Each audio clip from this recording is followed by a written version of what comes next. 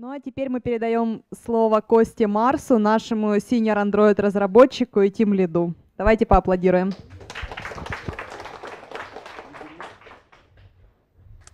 Э, всем привет. Э, как Лена уже сказала, меня зовут Константин Марс.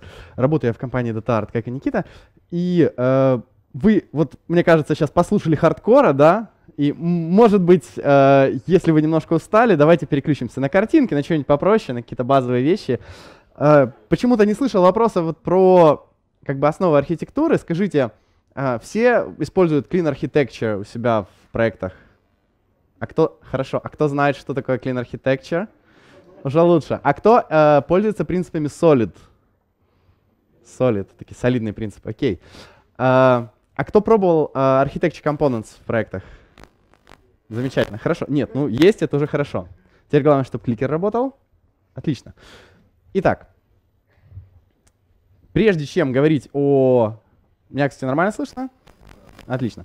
Uh, прежде чем говорить об Architecture Components от Google, uh, небольшое отступление о том, почему вообще вот такие вещи, как MVP, MVVM, различные фреймворки, такие как Android MVP Helper, Moxie, Mosby, Architecture Components, зачем они появляются, зачем они нужны, и зачем это вообще нужно, когда можно писать код, радоваться жизни и как бы вообще обходиться без всего этого.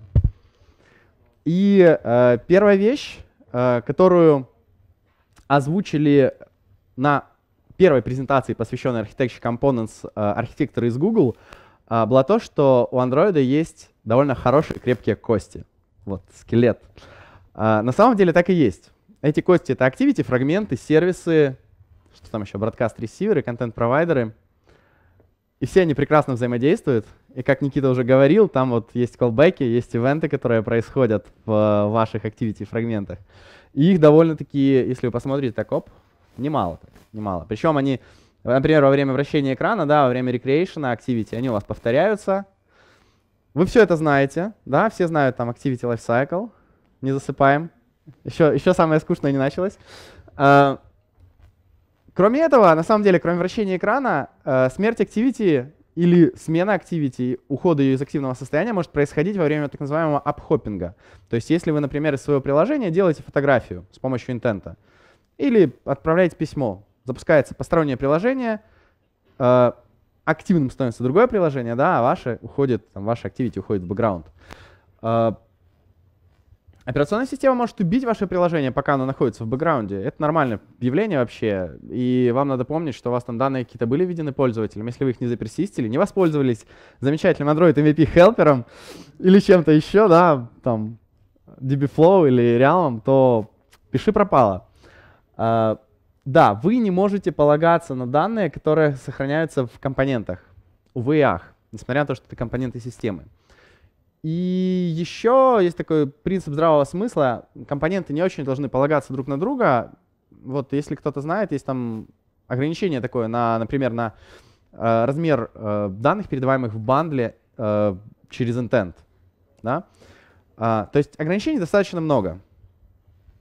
Опять-таки, большинство из них связаны с лайфсайклом, не обязательно activity, может быть фрагмента, но тем не менее с вот такой крутой, большой, длинной штукой, которую на собеседованиях вас будут спрашивать, все равно не забывайте.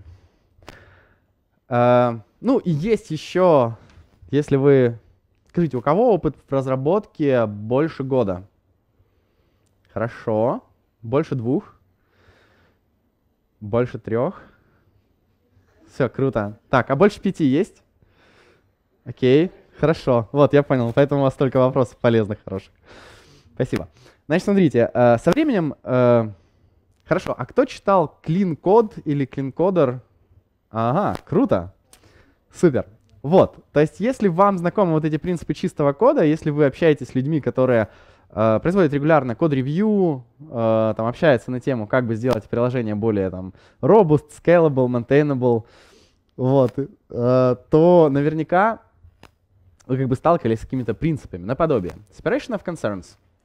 Uh, в вашем приложении не должно быть кучи всего в одном месте. Например, в одной activity должно быть все разделено. Ну, должно быть какое-то понимание, что для чего-то у вас существует контент-провайдер, а не просто база внутри activity дергается, да, для чего-то существует activity. То есть, то есть как бы что-то, приложение не куча всего. Окей. А, Solid User Experience. Ну, ваше приложение, опять-таки, не должно быть мессом, у вас не должно быть такого, что у вас где-то данные пропадают, появляются сами по себе, еще что-то. Uh, UI должен быть свободен от application логики. Ну, опять-таки, это избегайте того, чтобы ваша activity содержала слишком много лишнего. Drive UI from model. Вот это уже встречается в реальной жизни реже. В примерах из Гугла, например, вы можете часто увидеть, что у вас прямо в activity э, инициализируется э, Google Client, да, для, допустим, Google Sign-in. Э, и, то есть в примере, который вы скачаете с GitHub, это будет в порядке вещей, потому что это пример. Вот. Но копировать это в таком же виде себе в приложение, если ваше приложение будет жить больше, чем одну презентацию, как моя, как мой пример, например, да, то, наверное, не стоит. Надо использовать persistent модель, чтобы у вас все не умерло. Persistent модель — это там еще один уровень сложности какой-то. Uh, assign clear responsibilities for each model class говорит о том, что ну, как бы, кроме того, что у вас есть экранчики, да, там, экранчик, введите там какие-то данные пользователя, возраст, пол э, и имя, да, и введите, например, там, количество покупок, которые вы хотите сделать, есть еще что-то под экранами, да, которое отображает бизнес-логику, так называемая доменная модель.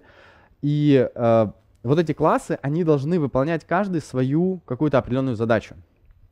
Опять-таки, все это звучит как, ох, в принципе, написано на бумажке, когда вы сталкиваетесь с ними в первый раз. Если вы прошли там через боль нескольких проектов, то вы просто начинаете понимать, что как бы это ваше спасение.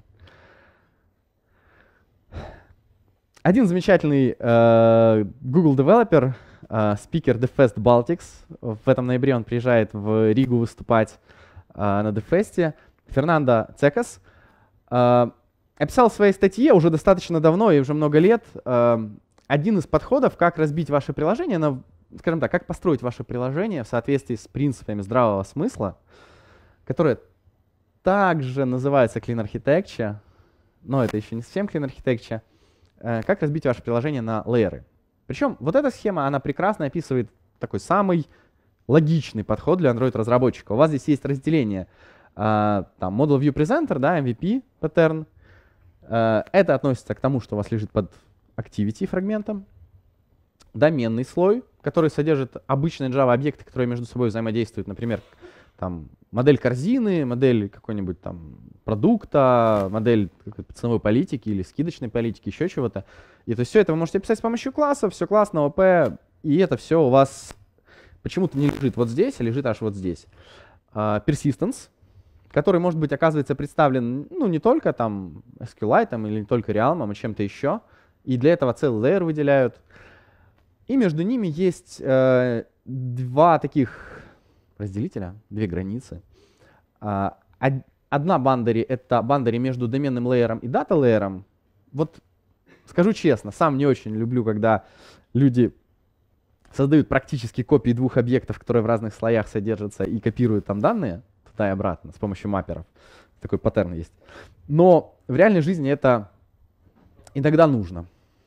И, соответственно, интеракторы, которые осуществляют операции над вашими доменными объектами, ну, например, пользователь кликнул на экране там какую-то кнопочку, там купить, например, а, это действие вызвало какое-то изменение в презентере. Презентер, а, в свою очередь, создал какие-то объекты, например, там корзина, в корзину положил объект там покупка, и вот все вот это вот, что происходит, оно описывается с помощью так называемых интеракторов или use cases, которые описывают именно действия и взаимодействия. То есть не одно и то же, как бы находится в доменном лейере, но не одно и то же, что и plain Java Objects.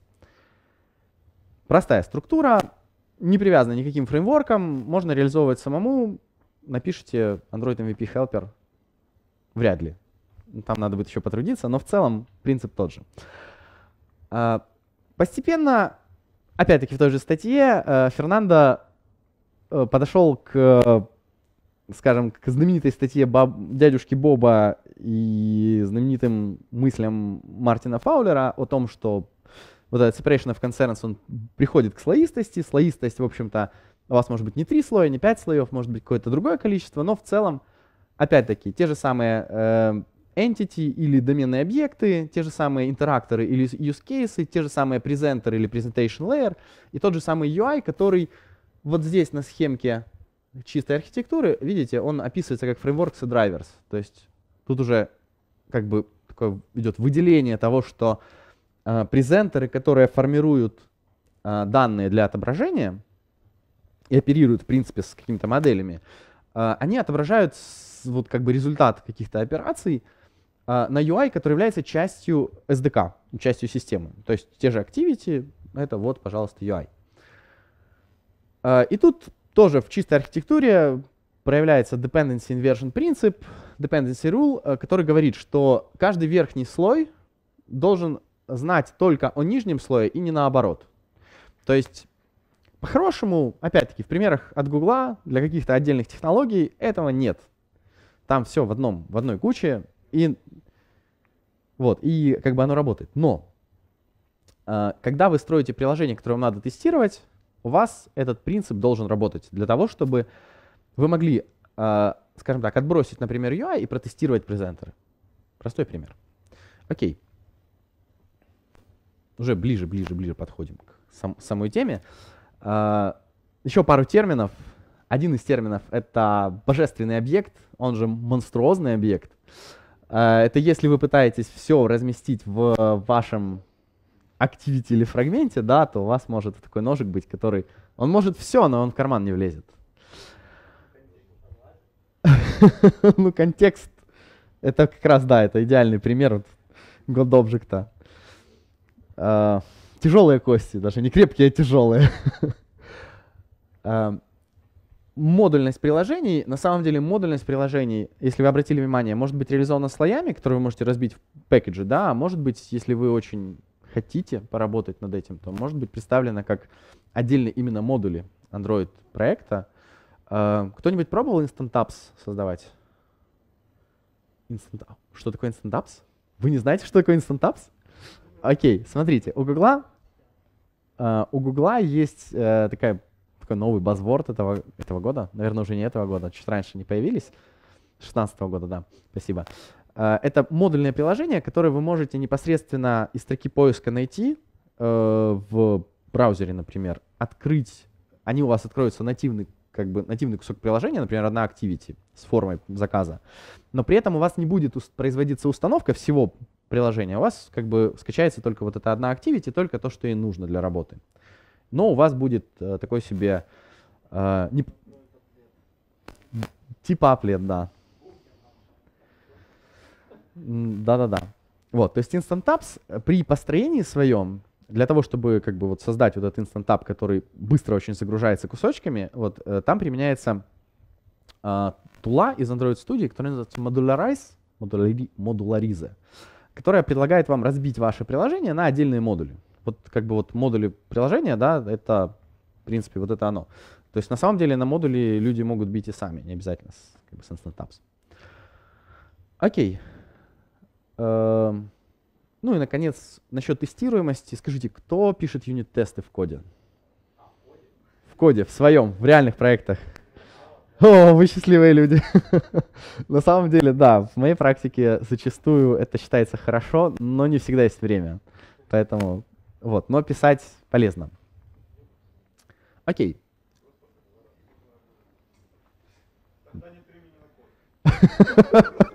Верно, верно. Окей.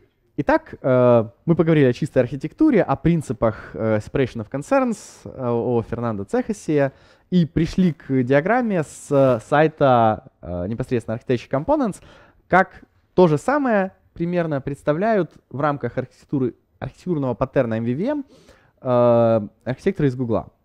Все круто, тот же самый UI layer, который имплементирует View, все очень похоже на то, что рассказывал Никита про MVP, да, то есть у вас есть view, у вас есть activity, вместо презентера тут играет роль viewModel, uh, есть репозиторий, который мы уже видели, и есть штука такая, которая data source, и тут единственное, что добавилось, такое маломальски новое, это live data, которую мы сейчас рассмотрим чуть позже. То же самое в рамках уже более так приземленных, это репозиторий обращается к data source, но только data source могут быть разные, могут быть, которые у вас на девайсе, например, room, да, или какая-то другая ORM или база данных. И remote data source — это доступ к сети. В принципе, все так же, просто красиво и be together not the same. Используйте кусочки, разные паттерны, и все будет круто. А, что сказал Google про Architecture Components? А, представители Google говорят, что это набор инструментов, которые вы можете использовать в своих приложениях. Они классные, они рекомендуются, но радуйтесь жизни. Если у вас уже что-то есть готовое, используйте их в первую очередь с пониманием, как правильно строить архитектуру, а не с тем, чтобы следовать этому паттерну вслепую. То есть отдельные элементы, такие как LiveData, э, например, можно использовать в отрыве от Architecture Components или Room использовать отдельно. То есть нет такого, что при нудиловке все переписываете, приложение все выбрасываете. Окей, итак, из чего они сами состоят? Uh, первая главная вещь — это lifecycle owners. Uh, то, о чем мы уже говорили, что uh, у вашей activity, у вашего фрагмента есть так называемый lifecycle, то есть события, происходящие с UI. И первая цель это первая цель lifecycle owner это показывать данные и, собственно, передавать эти события, приходящие от операционной системы, к вам глубже в логику приложения. Lifecycle owners, они же UI-контроллеры или view, uh, не должны содержать данных, реальных данных, да, то есть они должны только отображать uh, данные, и вы должны помнить, что lifecycle owners могут умереть, нормально, им можно. И не э, считать никакие, как бы не содержать никакой логики. Примеры activity и фрагмент. Немножко еще раз об ивентах.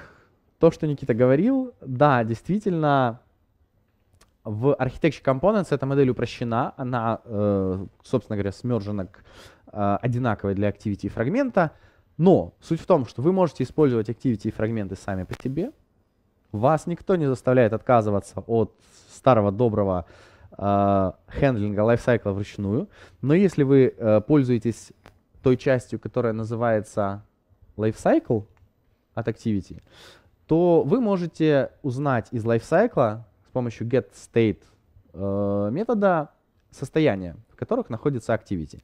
Причем фишка в том, что это было сделано исключительно для того, чтобы не заставлять вас все время об обрабатывать именно события, которые происходят в определенный момент. Дальше как бы, ну, дальше вы должны помнить. А для того, чтобы э, собственно говоря, из Activity в любой момент времени, когда у вас, например, что-то в бэкграунде происходило, вы могли, когда там, коллекция observable, LiveData, например, да, обновляет себе данные, чтобы LiveData это могла узнать состояние Activity и узнать, надо с ней работать или нет. Например, она там дестроит, ну зачем что-то на Activity отображать, когда это Activity уже не валидно. Поэтому теперь у вас есть не только ивенты, но и стейты. Собственно, в чем и коренное различие между э, lifecycle а, компонентами и непосредственно activity фрагментами. А, примеры, собственно, lifecycle owner это AppCompat Activity и фрагмент. Э, так случилось с, по-моему, третьей альфы.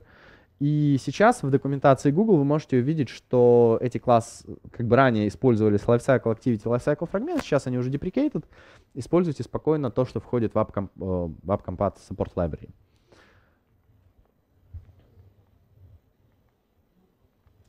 Uh, view модель. Uh, view модель это data holder для activity фрагментов. View модель, как вы уже поняли, просто хранит данные и переживает жизненный цикл Activity. И вот это очень важно, никогда не должна содержать в себе ссылки на э, любые UI-компоненты, то есть вот эти части основного SDK. Как это будет выглядеть в коде? Э, у вас есть view-модель, которая наследуется от э, viewModel э, класса. У вас есть какие-то данные в этой view-модели, ну и, в общем-то, вы можете из этой view-модели что-то вернуть, что-то засетить. Все вообще очень просто, обычная обертка. Почему ее не написать вручную, сейчас увидим. А, да, еще раз о том, как она переживает lifecycle. Вот создается activity, происходит он create, начинается наш прекрасный lifecycle с множеством ивентов. И activity перестает существовать на onDestroy, то есть вот здесь состояние финишит. А ViewModel все это дело переживает, и у нее вызывается метод onClear, он cleared, э, только когда activity задестроилась.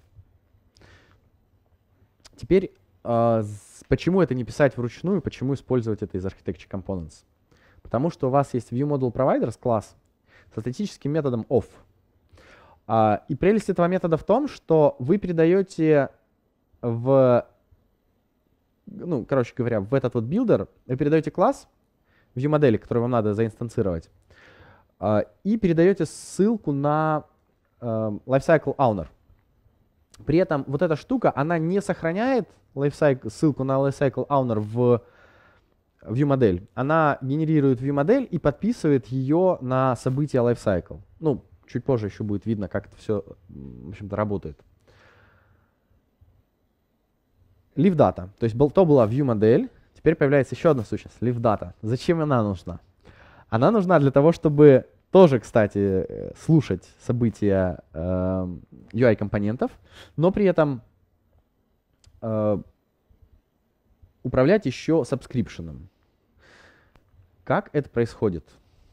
Э, есть subject, в данном случае это наш lifecycle owner, activity какая-то. Он нотифицирует обсерверов. И обсерверы для того, чтобы быть в курсе, они должны подписаться, да, включить observation. Либо они подписались, тогда они слушают, либо нет. В примере с Activity это происходит примерно так. У нас есть detail, detail Activity, у нас есть э, leave data, в которой мы, допустим, передаем какие-то данные, и э, leave data на, в случае, если Activity подписалась на leave data, то есть вот этот TOF сработал, э, тогда leave data пересылает данные в Activity и что-то там обновляет. В случае, если Activity не активно, то, соответственно, подписка не будет работать. Уже становится скучно, вижу. Э, окей. Как ее использовать в view-модуле? Просто хранить leave и, и все. Просто хранить и вызывать метод post. Uh, метод post существует для того, чтобы внутри него можно было затриггерить какие-то обновления, ну, вернее, внутри него затриггерились обновления uh, тех, кто слушает вот эти обновления. Соответственно, просто переписать ливдату uh, посредством new не есть хорошо, потому что у вас потеряются подписки. Uh, ну и слушать все это можно с помощью метода observe. То есть у вас была view-модель, вы получили из нее leave-дату, которая хранится во view-модели, и подписались, слушаете, проверяете, что у вас там данные есть, все, отображаете, все круто, хорошо. Паттерн uh, репозиторий. Uh, как я уже говорил, uh, где-то там у вас есть дата-сорсы, да, есть у вас база данных, есть у вас интернет, облако какое-то. Репозиторий является так называемым единым источником истины, и он ответственен за проверку, актуальны ли у вас данные, а, надо ли их скачать, что вообще с вашими данными происходит. А, например, репозиторий будет имплементировать, то есть э, в идеальном варианте вы имплементируете какой-то, вы пишете какой-то интерфейс репозитории, и он имплементируется как самим репозиторием, так и вот этими дата-сорсами. Ну или наоборот, э, интерфейс data-source, он все равно будет имплементироваться репозиторием. То есть общий интерфейс. И вот эти методы get user by ID, get all users, get user by name, а, они будут прозрачными, то есть вы их должны вызывать, обязаны вызывать просто у репозитория, а репозиторий в зависимости от своей логики будет вызывать соответствующие методы либо у хранилища, либо у клауда, либо еще где-то. Так, то есть он таким образом служит медиатором. Ну, паттерн-медиатор, паттерн-репозиторий. Uh, окей. Соответственно, то же самое remote data source и модель. Идем дальше. Это мы уже видели. Layered room. Uh, в Architecture Components, кроме компонентов, которые служат для управления лайфсайклом, вернее не управления, а взаимодействия с лайфсайклом. И кроме observable leave даты, а, также вошла ORM, которую в шутку так похоже назвали room. Не ORM, а ROM. Первое, конечно же, как всякая ORM, с помощью аннотации она позволяет писать вам э, меньше кода. Второе, позволяет валидировать SQL queries, что на самом деле очень круто, потому что раньше при, классическом, при классическом SQL вам надо было написать запрос, и что-то могло произойти в рантайме, там какой-то крэш, потом надо было дебажить, проверять и так далее. Тут у вас все ошибки должны, во всяком случае, такие, которые можно проверить uh, в compile time, должны проверяться в compile time. Во всяком случае, вы точно не опечатаетесь названием таблицы, например. Ну, типа да. типа да. И, наконец, а, Room позволяет вам а, непосредственно генерировать leaf data и observable RX Java, что, в общем, делает вашу жизнь проще, легче, и не надо дополнительно писать лишние цепочки руками. Что входит в Room? В Room входит непосредственно база данных, это описание всего в целом. Это DAO, Data Access Objects, которые описывают запросы и типовые операции с базой данных. И это entity, то есть, собственно говоря, это таблицы. Entity описывается с помощью аннотации entity, и, в принципе, достаточно будет еще указать primary key, и все, у вас entity будет работать.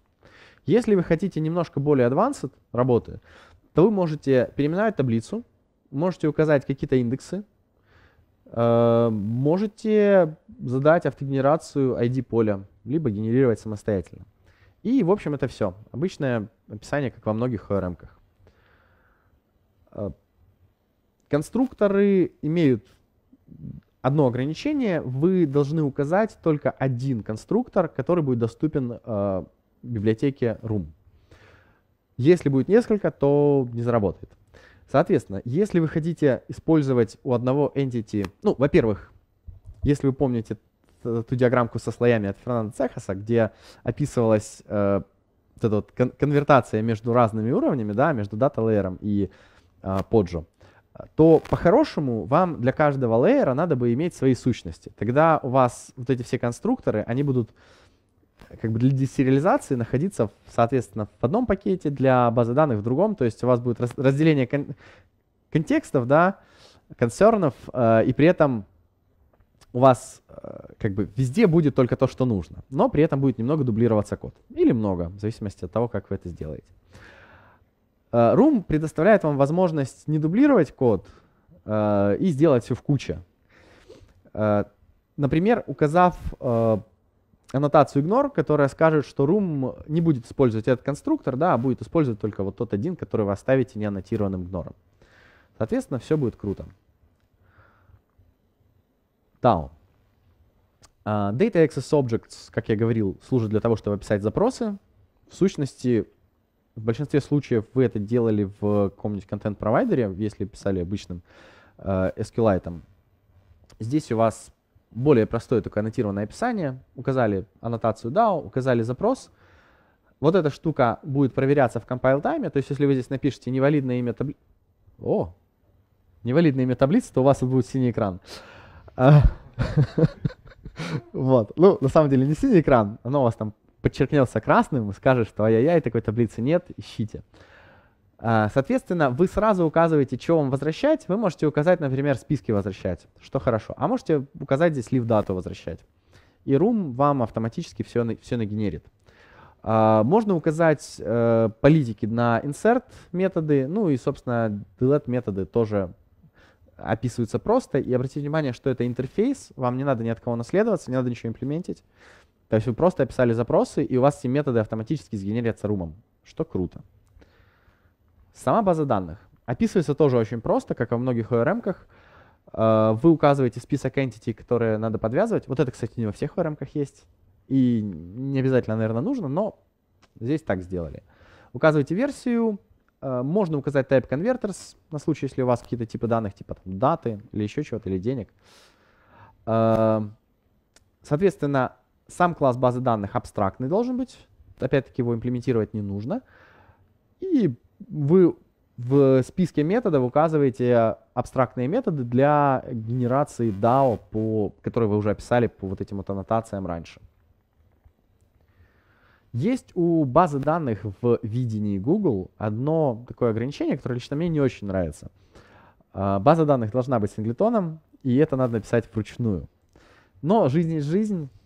В принципе, написать синглетон не проблема, а если вы владеете какой-то библиотекой Dependency Injection, там Android Annotations или Dagger, пользуйтесь Kotlin, вообще замечательно, да. Вот, то есть можно избавиться от этого boilerplate, и все у вас будет работать как надо. Но главное это не забыть, что это должен быть синглетон. Uh, Type-конвертеры тоже очень простые. Э, вам достаточно написать один класс, и в этом классе описать с помощью аннотаций type-converter методы, которые будут конвертировать ваши данные. Все тоже очень просто. Э, и да, Google говорит, что вы можете использовать не только Room, но в принципе любую библиотеку с Architecture Components, и это не есть проблемой. Используйте, радуйтесь жизни, не, не переписывайте все подряд. Паттерн репозиторий. Важно отметить, что паттерн репозиторий — это паттерн, то есть это не штука, от которой вам надо наследоваться, это не штука, которую вам надо имплементить, это просто э, подход к построению приложения, поэтому вы можете описать его как класс. Вот, кстати, в CodeLab от Google это вот прямо вот так, по-моему, как класс и описывается. В своем приложении лучше всего создайте интерфейс data source, да, или, или интерфейс репозиторий, который описывает методы, которые вам нужны, и потом э, этот интерфейс наследуйте. Во-первых, это сэкономит вам время, потому что студия вам автоматически сгенерит все необходимые методы, если вы уже написали имплемент такой-то интерфейс. И во-вторых, вы точно будете знать, что вы ничего не забыли. И у вас э, идет прозрачное дуб дублирование э, реализаций э, с репозитория на дата source. Э, в примерах Google о том, как э, пользоваться паттерном репозитория, они э, говорят, что э, ваш Network Data Source, например, может э, в себе инкапсулировать какую-то там интересную логику, да, может быть даже с запуском отдельного сервиса для скачивания данных. Но при этом э, Google рекомендует использовать LiveData, потому что вы можете э, в, при вызове метода создать LiveData и потом э, под эту лифдату подписаться. Причем обратите внимание, здесь метод observe forever, что, отлич... как бы, что отличает этот метод от метода, который используется в UI, то, что здесь вам не нужна ссылка на lifecycle owner, и ваш метод observe forever может спокойно слушать до бесконечности, пока у вас не придут данные. Соответственно, в методе observe, существующем для lifecycle owner, Э, вам надо было обязательно, чтобы lifecycle owner был известен, и вы могли отписаться и не передавать вот этот вот callback в случае, если lifecycle owner уже там дестроен. А, для background процесса, да, или для репозитория, который находится где-то э, в не UI компонентах, вы просто слушаете, получаете какие-то данные и затем, соответственно, с использованием соответствующего скедулера э, выполняете операцию по, например, сохранению этих данных. Все просто, все хорошо. А, используем левдату, думаем, когда фетчить данные. На моей памяти фетчить данные, когда надо, это проблема, э, в общем-то, вызывающая иногда долгие споры, хотя вроде простая, но в то же время для каждого приложения вот эту логику э, нередко реализуют по каким-то своим правилам. Например, если вы хотите скачать погоду, да, вам надо определить там разницу в количестве дней. Если вам надо заменеджить э, какие-то записи пользователя, да, или какие-то трекинги данных с э, каких-то фитнес, например, датчиков, то ваши данные могут быть более, скажем так, могут соответствовать тем же датам или там аналогичному времени, да, э, либо просто вам надо будет как-то их агрегировать, суммировать, обновить. И вот здесь уже вам придется логику написать самим. А, опять-таки, рекомендуется при реализации паттерна репозиторий а, эту логику написать в одном месте и не дублировать ее, просто вызывать потом для определения, когда качать, когда не качать данные. Соответственно, на основе вот этого метода isFetchNeeded вы можете в дальнейшем определиться, а, нужно ли вам выполнять fetch из сети либо, например, выкачать э, закэшированные данные, что очень удобно и сохранит жизнь батареи. Окей. Э, ну и, наконец, в самой Activity вот эту лив-дату, которую вы э, получили в репозитории, получили, получили из репозитория во ViewModel, вы можете потом уже в Activity опять-таки ту же самую лив-дату пробросить и просто подписаться на нее с помощью Lifecycle Aware Observer. Тоже все просто примерная схемка для простого приложения погода, которое вы там в конце презентации я привожу ссылочку на CodeLab э, от Гугла, э, который, в общем-то, описывает, как это все строить, там с, с примерами можно поклассать, по, понабирать код и сделать все это рабочим. Э, но примерно в целом все это будет выглядеть вот так. У вас есть разные activity, каждая activity содержит в себе view-модель, вернее, ссылается на view-модель, Э, каждая view-модель содержит live-дату, которая обновляется из репозитория. Репозиторий, как бы тут, тут у нас может быть много всего. Репозиторий у нас один на все приложение, такой себе синглтон. Э, репозиторий обращается к хранилищу данных, э, либо к сети. Соответственно, вы можете обратить внимание, что вызовы к сети тоже как бы могут быть разные API какие-то, но рекомендация при построении архитектуры мобильного приложения э, не создавать кучу каких-то сервисов, которые у вас будут жить каждой своей жизнью, а собрать их все-таки в одну какую-то точку. Но это не репозиторий, а это в данном случае это Network Data Source, который управляет запросами к различным, например, API. Таким образом, у вас все будет крутиться вокруг репозитория, и приложение будет иметь какой-то целостный вид. И, соответственно, у вас будет separation of concerns. Good. Uh, не так давно в Architecture Components добавилась uh, библиотека, которая называется Paging, которая работает очень похоже с тем, что Никита рассказывал про Paging в Android MVP Helper. Uh, принцип э, этой библиотеки в том, что у вас есть какой-то data source, не совсем такой data source, как то, что я описывал, но в целом как бы суть такая же. Какие-то данные, у вас есть э, сущность, которая называется paget list, которая позволяет вам э, данные, зафетченные по определенным правилам, э, передать в paget list адаптер и нотифицировать его о том, что необходимо обновиться. Paget list адаптер, в свою очередь, э, является нас наследником э, Recycler View и, используя так называемый diff анализирует, нужно ли конкретные айтемы в ресайклере обновить, и вызывает unbind view holder. К сожалению, это не анимация, поэтому тут вы ничего не увидите. Если вы зайдете на сайт архитек... на документацию Architecture Components, там есть красивая анимашка, которая показывает, как у вас там пропадают, добавляются элементы в вот этом списке. Дата uh, sources есть два типа. А, более простой, который почему-то до сих пор не, не заимплементили, чтобы он автогенерился из DAO. И более сложный, который автоматически генерится из DAO. Ну вот, да, просто более сложный, видимо, чаще используют. А, более простой позволяет вам выбирать только одну единицу данных от текущей позиции, вперед или назад. Tilet, который более сложный, позволяет вам выбирать range. Как это будет выглядеть в коде? Вначале вам надо будет взять DAO и описать в нем запросы. Ну, логично, да? Все помнят, что такое DAO? Все окей, да? Просто тихо так. Uh, запросы должны uh, описывать э, методы, как загрузить данные после позиции, да, и до. Обратите внимание, что вот этот вот параметр, который вы передаете в ваш метод, он описывается в запросе с таким вот синтаксисом двумя точечками. Вот я не обратил внимания раньше на э, описание DAO, то есть так это работает.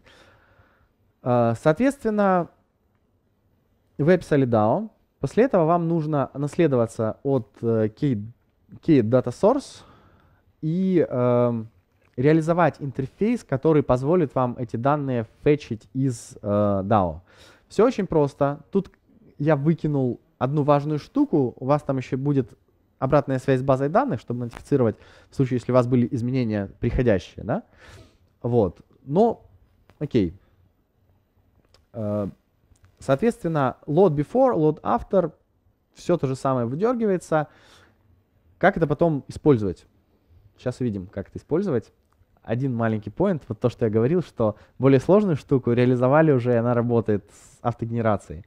А, если для Kate Data Source вам надо было описывать три метода, там, которые каждый возвращает свой какой-то, свою какую-то коллекцию, то для Tile Data Source вы можете написать как бы один метод, э, и в котором описать, э, в котором э, назвать возвращаемое значение, типом Tile Data Source. И сразу вернется Data Source. Не списки, не LiveData, а именно уже, в общем, все, все, все вот это вот загенеренное. То есть, грубо говоря, вот эта штука, которая под капотом там сгенерится, она будет сделана за вас. И вы ее получите сразу из Data Access Object, что удобно. А, в Paging Library также входит сущность такая, как Paged List, который загружает э, чанки из дата source и является посредником. Э, входит также Leaf Paged List Provider, который э, тоже можно сгенерировать. И, да, э, и который позволит вам сделать вот такую вещь. Эм, сейчас. Leave Paget List Adapter. Да. Где он? Так. Окей. Um, Leave Paget List Provider будет получен uh, у вас из DAO, и после этого с ним, ну вот эта вот штука, с ним можно будет uh, работать, также передавая туда конфиг. Uh, таким образом, сори за обратное движение, таким образом вы сможете описать для тайла дата source, uh, не указывая uh, дополнительные параметры непосредственно в DAO, а указывая их преддефайненные константами в вот здесь, в конфиге, paget list конфиге. В результате paget list, который вам вы получите с помощью э, вот этого провайдера, уже будет иметь какие-то дефолтные значения, которые, в принципе, можно при желании там пересоздать динамически. То есть это не задефайнено будет в коде, э, не задефайнено с помощью аннотаций, а как бы можете пересоздать еще один конфиг, э, сгенерировать еще один э, paget list, Тут LiveData как бы это просто обертка, которая позволяет обсервить этот paget list. Сори, немножко может быть вза взаимосвязано, но тем не менее. Да, в жизни, в жизни все проще будет, если начать это кодить. Вот. То есть, как бы вот эта штука позволяет просто сделать tile data source более гибким. И, соответственно, заменить его динамически, не, привяз не привязывая только к коду. А, как это будет работать в Activity, например? У вас будет uh, view-модель, Э, которую вы там запровайдили с помощью провайдера. У вас будет Recycler View, все как бы классическое, как из обычного приложения. А, после этого вы создаете адаптер, который является вот этим вашим адаптером. И затем подписываетесь э, на вот эту штуку user-list, которую мы уже видели, которая является live data с page листом. И, соответственно, когда приходит новый paget list, вы просто передаете его в адаптер, который уже задан для Recycler View. Немножко, конечно, коробочка в коробочке, и даже, наверное, не немножко, но тем не менее. А, внутри вашего, то есть внутри вашего адаптера все будет гораздо проще. Во-первых, у вас, э, ну, вы просто заэкстендили paget list адаптер. Во-вторых, вы передали какой-то div callback, который мы сейчас рассмотрим, как он реализован. И в-третьих, вы реализовали только on bin holder. То есть вам не надо как бы реализовывать внутри адаптера э, какую-то логику там, выборки данных, еще чего-то. Она вся находится отдельно, она управляется DAO, зачастую даже вообще генерится автоматически. Э, в on bin holder вам, понятно, надо привязать вот эти данные, которые пришли и обновились, просто к UI. Окей. Uh, div callback тоже очень простой. В div callback два основных метода. Это are items the same и are content the same. Тут обратите внимание, важный момент. Айтемы могут быть э, как бы физически одинаковыми, да, то есть это могут быть реально один и тот же объект. А может быть этот объект пересоздан, но с тем же контентом. Например, у вас user, э, объект user э, восстановился из базы данных, по, ну, по какой-то причине как-то у вас там репозиторий, как логика сработала, да, вы, вы, ну, выгрузил из базы данных объект, это уже объект с другим поинтером, с другим адресом в памяти, да, uh, и при этом контент у него тот же самый. То есть для div callback важно и то, и то. Поэтому вот эту штуку не забываем реализовать. Иначе у вас вот это не, не the same будет там добавляться или в общем, менять список. Окей вернулись, как это все выглядит в жизни, все проще, дефутил видели, он bin viewholder видели, все остальное, в принципе, дата source нам должен сгенерить. И, наконец, все, мы уже подходим к концу.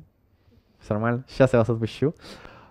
Два слова о тестировании, без примеров кода, без ничего. Смотрите, э, вот э, то, что мы будем говорить сейчас о тестировании, опять-таки, это без привязки к Architecture Components, это просто о том, как мы можем при правильной архитектуре приложения, правильной в кавычках, правильной, хорошей, э, можем тестировать. Первое.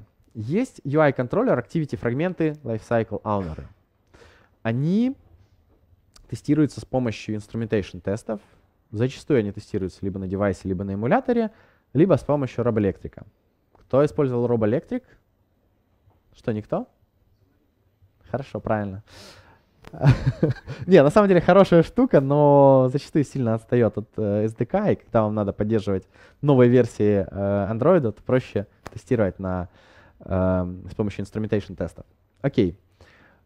Потестировали UI, затем э, проигнорировали этот верхний слой UI, да, помним о том, что у нас есть dependency inversion, нижние слои о верхних ничего не знают, то есть можно тестировать нижние слои. Нижние слои тестируются с помощью JUnit, такие как ViewModel, например. LiveData тоже с помощью JUnit тестируется. Uh, репозиторий тоже тестируется с помощью JUnit, с которым тоже все хорошо. И да, совсем забыл сказать, что вы должны замокать, да, то есть для UI вы мокали ViewModel, для ViewModel вы мокаете репозиторий. С репозиторием вообще все прекрасно, там у вас должно быть немного методов, и, и интерфейс уже должен быть заготовлен, если вы правильно заимплементили интерфейс data source. А, соответственно, для репозитория тут может быть чуть-чуть сложнее. Там рекомендуют mockpub сервер или что там, WireMock какой-нибудь, овечку электрическую. Вот, тем не менее, а, тут тоже как бы можно все замокать. Репозиторий протестировали, протестировали эту логику из fetch needed, например, да, или там запустить сервис, не запустить сервис. И все, наверное. Как сказал молодой человек, Используйте Kotlin. Kotlin прекрасен.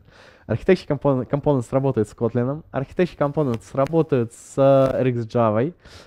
Uh, если вы используете MVP, там будет ссылочка uh, на видео с Google Developer Days, проходивших в сентябре, когда еще Paget Library не было выпущено, uh, где Флорина Монтанеску говорила, что радуйтесь жизни. Если у вас MVP, вы можете несколькими способами извратиться и сохранить MVP, добавив туда ViewModel. Вот, то есть можете посмотреть, как это сделать. Можно, в общем-то, комбинировать отдельные элементы, одно другому не мешает. Но желательно сильно не извращаться, чтобы был все-таки код читаемый, была какая-то логичность, да. А, и, наконец, если вы работаете на Legacy проекте, застрелитесь. Нет, шутка. Все нормально. Работайте на Legacy проекте. Если вы от этого не можете никак убежать, а, вы можете переписывать код, но для этого почитайте Мартина Фаулера «Рефакторинг» и делайте рефакторинг не скопом, а пошагово, чтобы вам жилось легче. Uh, да, и наконец, жизнь прекрасна, Google вас любит. Uh, да, прежде чем сказать всем спасибо, немножко ссылок. Uh, смотрите, а, презентацию мы с вами пошарим. А, прекрасный гайд по Architecture Components, а, прекрасная документация по, библиотеке, целый набор видео, которых можно хорошо очень посмотреть где-то в фоне, если вы собираетесь применять Architecture Components в жизни. Вот очень рекомендую. Это не только с Google I.O., есть более новые видео с GDD. И, наконец, есть на GitHub замечательные примеры при использовании Architecture Components. Единственное, помните, пожалуйста, что так как библиотека сейчас очень активно развивается, она в бету вышла буквально вот в октябре, то э, вот в этих примерах в них э, могут быть устаревшие моменты. Это нормально, просто читайте документацию. А еще лучше читайте, вот, по-моему, где-то вот здесь есть еще раздел Release Notes, где перечисляются изменения в новых версиях библиотеки. То есть э, скажем так, не копируйте вслепую примеры из GitHub, просто почитайте и учтите изменения, да, такие как, там, например, AppCompat Library или изменения в Pageant Library. Uh, и, наконец, если вы хотите вот просто взять почти готовый кусок кода, который займет у вас там где-то минут 45 или 60 покорректировать, можете взять CodeLab и поиграться с ним. Тоже очень хорошо.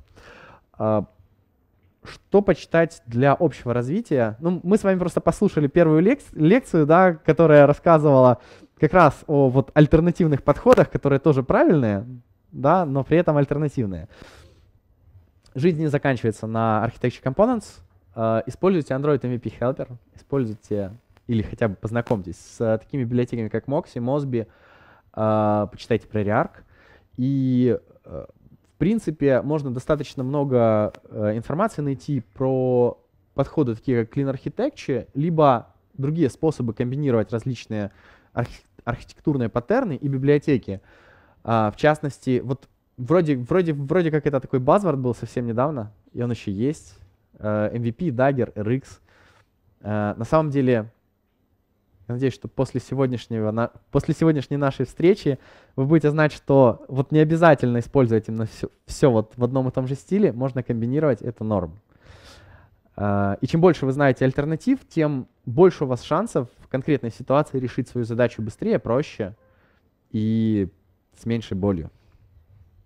Собственно, все. Да, если кому-то интересно или кто-то собирается на Java Day, а, замечательная конференция будет в ноябре, и вы можете взять, отсканировать эту штучку и получить дискаунт, если кому-то надо. Все, всем спасибо.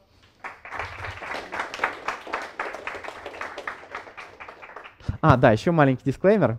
Как и Никита, я скажу, что contribution uh, needed — а, если вы заинтересованы в вопросах мобильной архитектуры, да, либо вы сами контрибьютите где-то, либо вам есть чем поделиться или послушать, а, подключайтесь к нашему маленькому клубу в Фейсбуке, Mobile Architecture Club. QR-код а, приложен. Там будет тоже интересно. Будет что-то новенькое. Вопросы?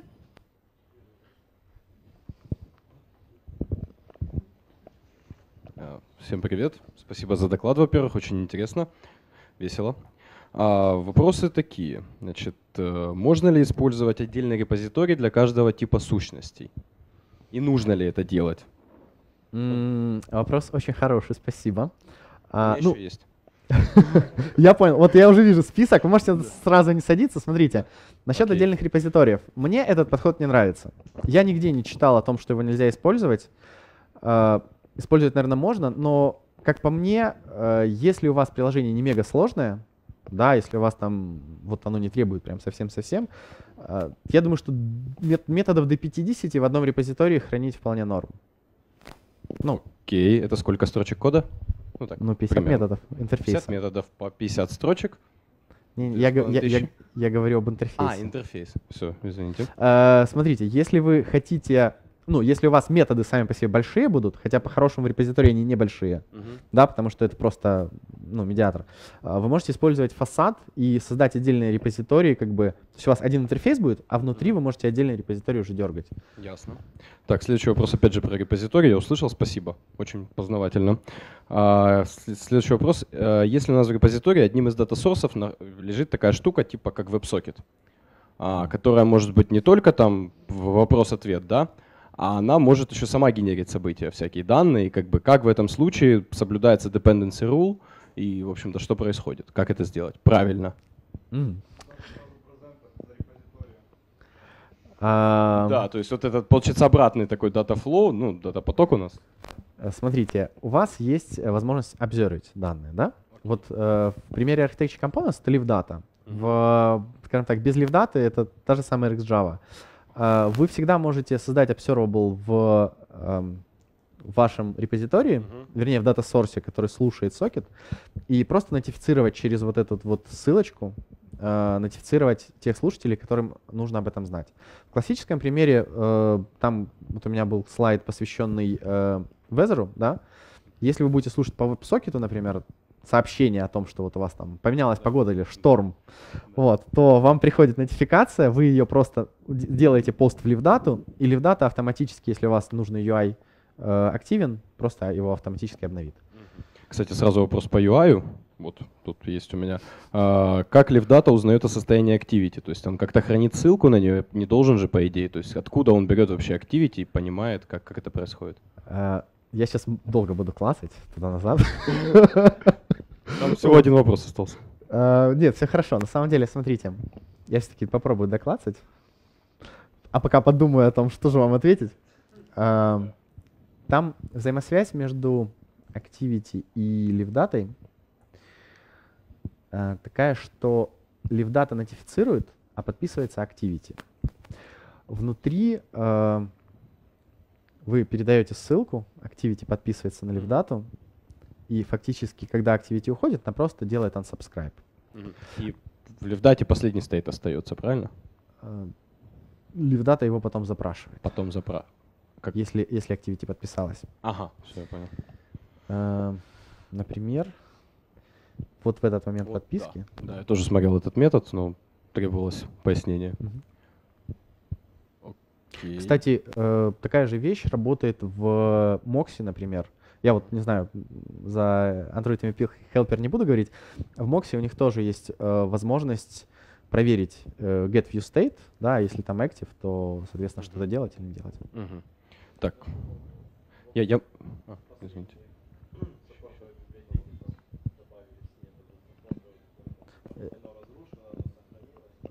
Ну, как бы и, и там, и там есть такая вещь. Так, последний вопрос, если позволите. А, как тестировать DAO? То есть вы проговорили о тестировании слоев, там вплоть до репозитория, да? Но вот тут как тестировать непосредственно сами объекты, которые получают данные из сети или берут их из баз данных? И нужно ли это вообще, как вот с этой ситуацией справляться? Тут два поинта. А, Первый, не путайте DAO с дата-сорсом. То есть DAO не получает данных из сети. Да. Ну, конкретно в Architecture Components. А, В отношении тестирования, то есть вопрос был о дата-сорсах или о DAO? То, что получает данные из сети. Окей. А то, что получает данные из сети, можно тестировать либо на основе э, моков, э, имитирующих структуру данных из сети. Например, вы с разработчиком э, сервера согласовали формат JSON, и этот формат JSON вы так или иначе как-то задокументировали. Простейший вариант, вы этот э, JSON кладете к себе в какой-то там в ресурсы, в ассеты, например, да, которые не компилируете при релизе, но они у вас на тестах используются. Вы загружаете его обычным стримом, и, соответственно, передаете в- вместо эм, ну, потока там, GSON, который получается с ретрофита. А, Это вариант один. Есть второй вариант, например, VRMOC библиотека, которая позволяет вам а, в вашем environment, запустив эмулятор, симулировать сервер, который будет отправлять опять-таки тот же JSON, но при этом вы протестите а, еще и GSON. Я вот честно скажу, я просто эту вещь щупал достаточно давно.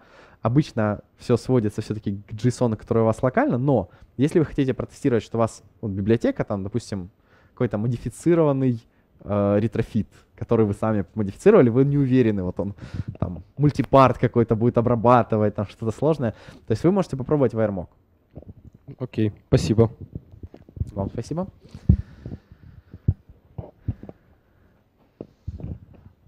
Там был live data от Weather Object, э, и он не, конст... ну, не read only.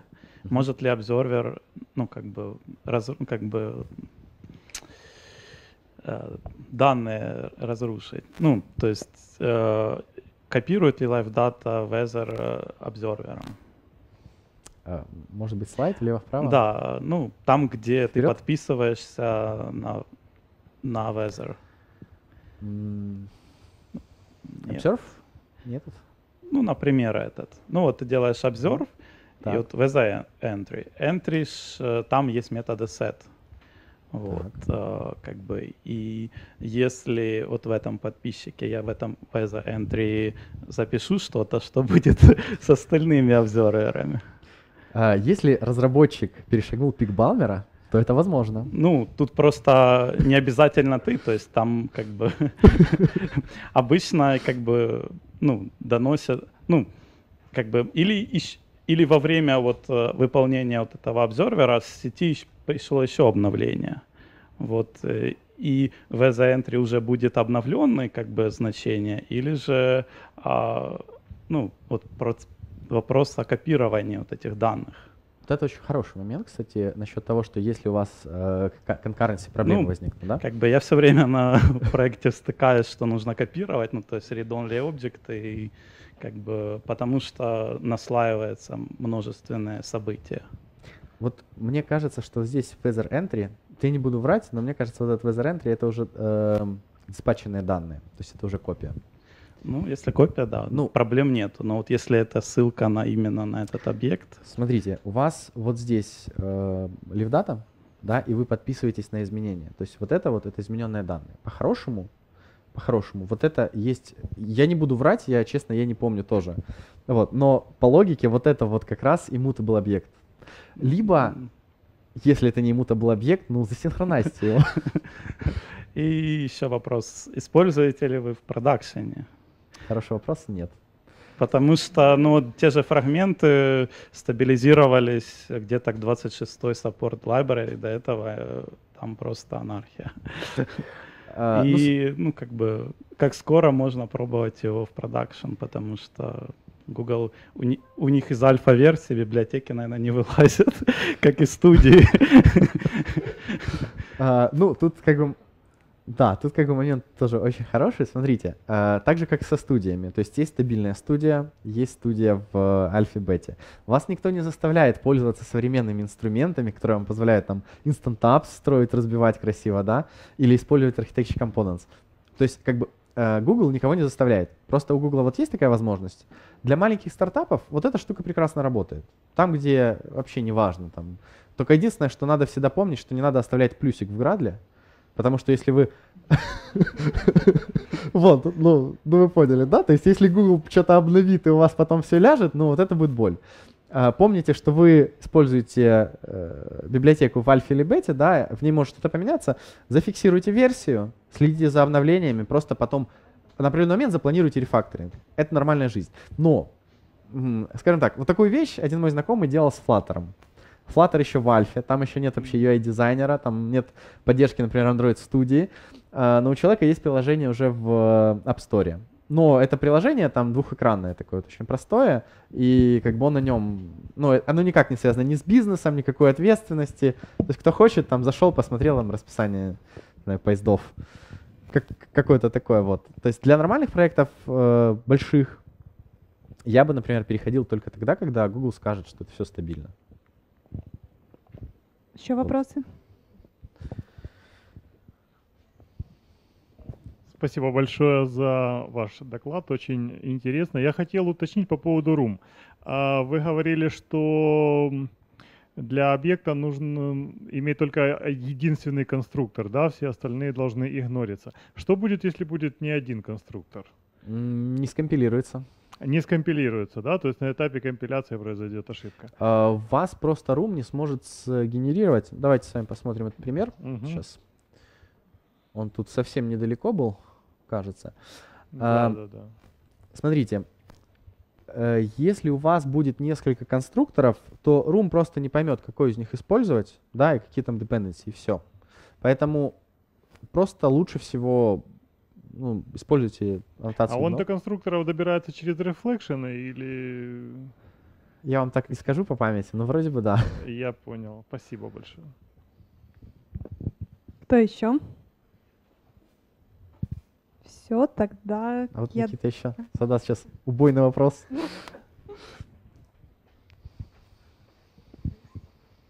А, В чем преимущество Рума перед другими ORM? Например, перед тем же DBFlow, то есть э, мы определяем DAO, мы создаем интерфейс, например, еще, э, точнее, создаем методы в интерфейсе, какими мы будем получать данные. Любая ORM по факту э, это все предоставляет в виде э, какого-то метод чейна.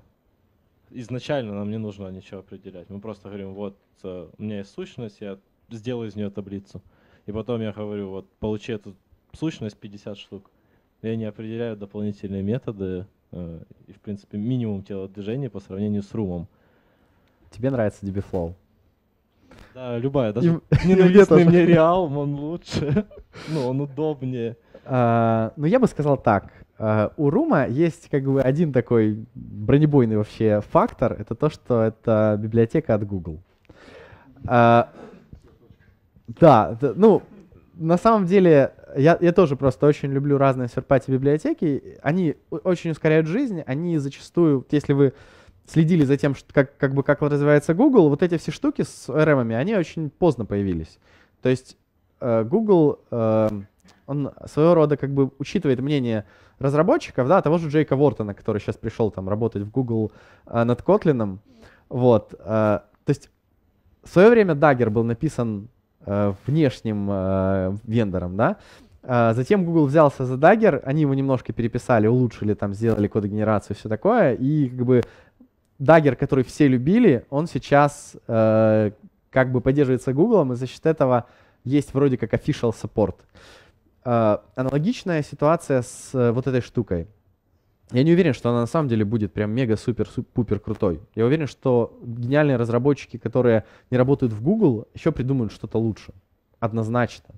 И DBFlow будет быстрее и все такое, но э, во многих реальных боевых проектах э, из-за вот из-за, из-за динамики развития third-party библиотек э, э, как бы архитекторы выбирают э, SDK. Например, э, во многих вообще проектах рекомендовалось использовать э, те же самые контент-провайдеры. Хотя я от многих разработчиков слышал, что нафиг это не надо, и в, во многих ситуациях это, ну, как бы это, это, это лишний оверхед.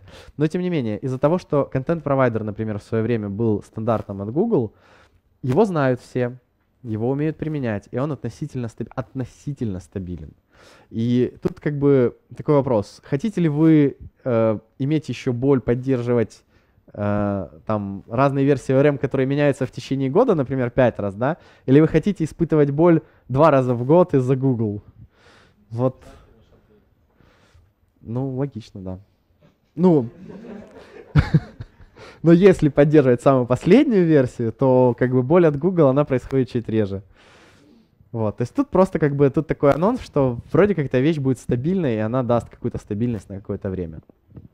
Но это, как сам Google заявляет, используйте то, что вам нравится, радуйтесь жизни, все будет хорошо. Да. А, Скажите, Константин, а есть ли какой-то способ а, в Clean Architecture а, пробрасывать данные, скажем так, на экран, кроме обзорва и ивентов? Или это практически аксиома? А вы могли бы уточнить вопрос? Ну окей, смотрите, мы а, для того, чтобы доставить данные пользователю, отобразить их на вьюшке, мы там или обзорвим collection, или мы там, а, не используя а, данный прием, мы э, отправляем ивенты там через RX как-то это делаем, то есть доставляем данные, да, говорим о том, что их надо сходить и взять из репозитория. Есть ли какой-то другой путь или здесь уже практически шаг вправо, шаг влево расстрел? Смотрите, обратная связь испокон веков реализовывалась интерфейсами. То есть вот это вот незнание о том, о, ре- о реализации того, что на, друг- ну, как бы на уровне вверху, да, а, его можно избежать посредством интерфейсов. А, все вещи, связанные с RX, EventBus, OTA и тому подобными ивент-библиотеками, шинами, они э, как бы просто-напросто отвязывают вас от необходимости что-то имплементить. А, Это просто разные инструменты. То есть, если хотите, вы можете э, использовать э, как бы просто имплементацию интерфейса, и все будет круто. То есть, по-хорошему, вы как бы вы знаете только об интерфейсе, который лежит в вашем лейере, да, допустим, там домене, да, и, допустим, ваш интерактор знает только, что там есть какой-то интерфейс, там, например, ну, условно говоря, репозиторий, да, вот. Но при этом обратно, ну, данные, как бы, они тоже не могут идти только через интерфейс. То есть, в принципе, в порядке вещей держать э, ссылку на объект, который реализует интерфейс, да, там э, какой-то там iData transfer.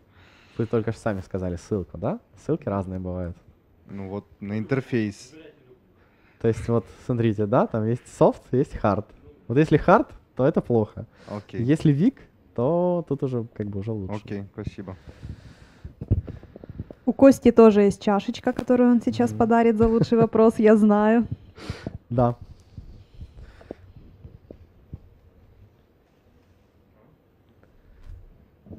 Так, молодой человек, я, я просто вот вам не могу уже, потому что у вас уже есть, поэтому вам спасибо большое.